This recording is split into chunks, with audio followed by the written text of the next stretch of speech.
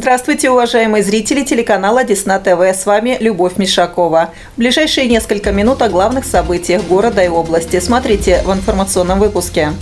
Все задачи и уполномоченные э, уже оповещены, задачи поставлены. Плановое совещание у главы муниципального образования.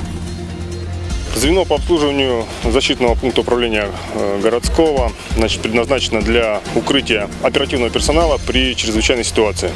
Итоги второго дня всероссийской тренировки по гражданской обороне. В переводе с греческого «педагог» – это ведущий. Педагоги Десногорска получили заслуженные награды.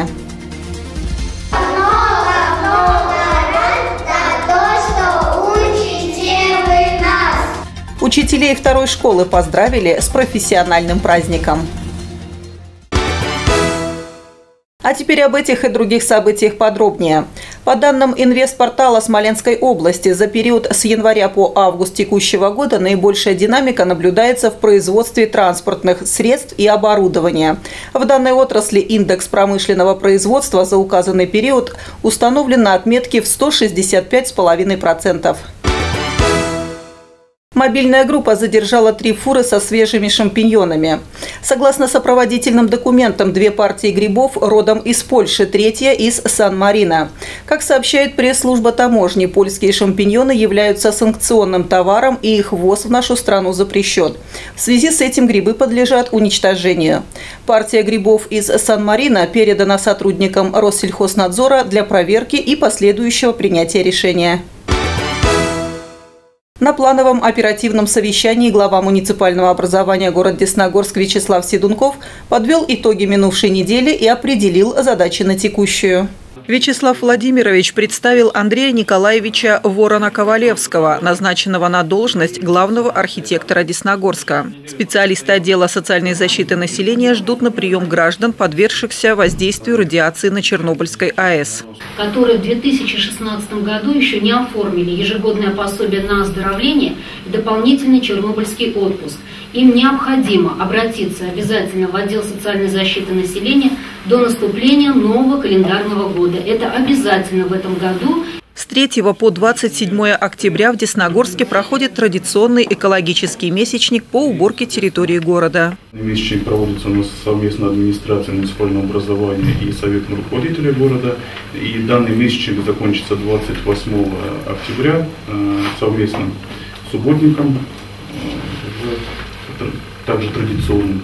Медики отмечают незначительный рост простудных заболеваний. Грипп не регистрировался. По состоянию на 30 сентября прошли вакцинацию против гриппа 1306 человек, что составляет 32,5% от плана. 4 октября в деревне Молькова Кардымовского района саперы пожарно-спасательного центра изъяли артиллерийский снаряд и уничтожили его. Пресс-служба центра напоминает, что при обнаружении взрывоопасных предметов ни в коем случае нельзя их бросать в костер, сдавать в металлолом, разбирать и переносить. В Десногорске продолжается всероссийская тренировка по гражданской обороне, соответствующая алгоритму действий в условиях крупномасштабной чрезвычайной ситуации. В ней участвуют все структурные подразделения объектов экономики города. Какие мероприятия прошли во второй день учений, смотрите в нашем сюжете.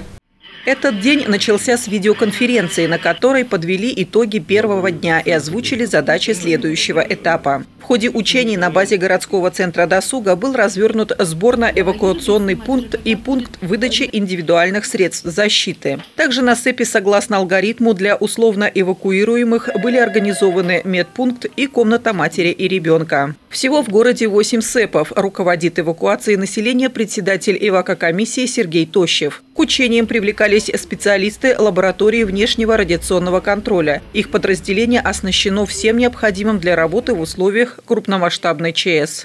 Особенность лаборатории заключается в том, что она в режиме реального времени, то есть в режиме движения, может передавать радиационную обстановку.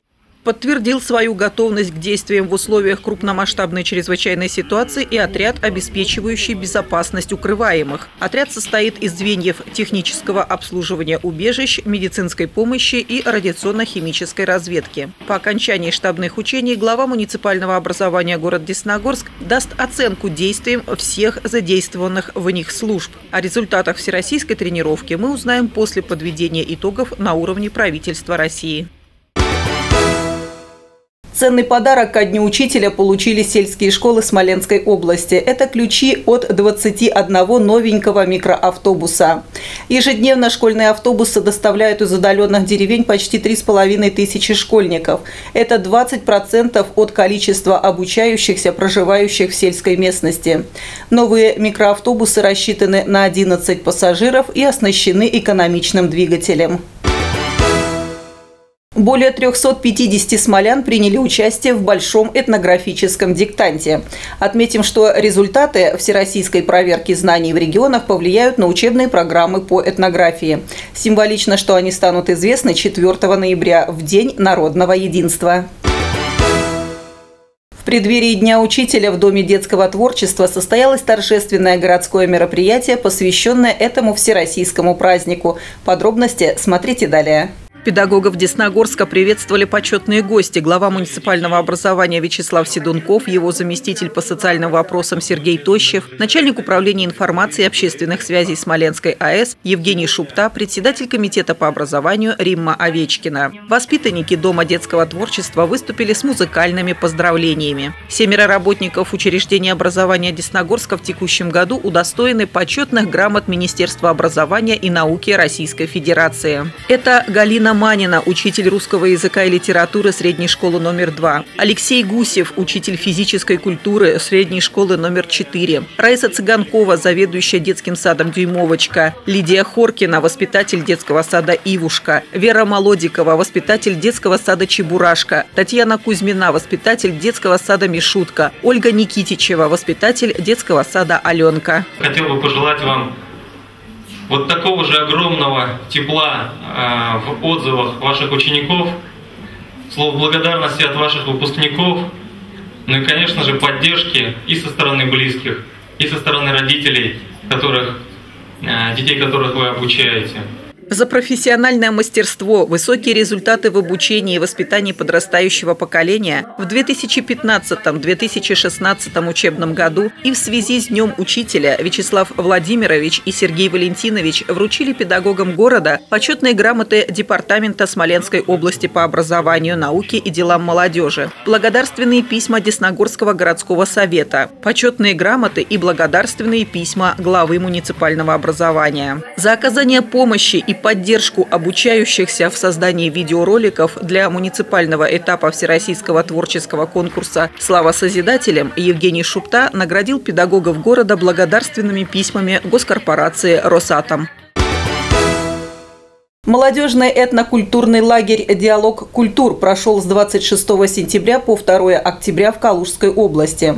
Смоленщину представила методист молодежного центра Десногорска Надежда Чекмарева. На протяжении недели участники делились опытом реализации этнокультурных проектов, участвовали в мастер-классах и открытых лекциях. По окончании работы лагеря всем участникам торжественно вручили дипломы.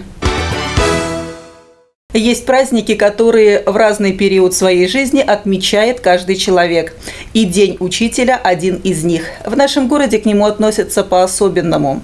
Как поздравили своих педагогов во второй школе Десногорска, узнаете из нашего сюжета. В актовом зале собрались учителя и бывшие работники школы, ветераны педагогического труда. В этот праздничный день все поздравления и слова благодарности звучали только для них. Огромное вам спасибо за ваш труд, низкий вам поклон. Самое главное – здоровье. В этот день ветеранам педагогического труда были вручены благодарственные письма и почетные грамоты от главы муниципального образования, комитета по образованию и администрации школы. Также 12 педагогам были вручены грамоты за высокие показатели в труде. Президент Республики самоуправления «Дом» тоже поздравила учителей с праздником. Вы столько сил вкладываете в свое дело, что порой отнимаете свое ценное внимание у близких. Я желаю провести вам этот праздник в кругу семьи, Счастья, здоровья и благополучия вам! В мероприятии приняли участие все звенья школы. Малыши подготовили очень трогательную концертную программу из нескольких номеров. Средние радовали педагогов своим вокалом, а старшие ученики подготовили видеопоздравления для каждого учителя, которое вызвало в зале шквал смеха и море радостных улыбок.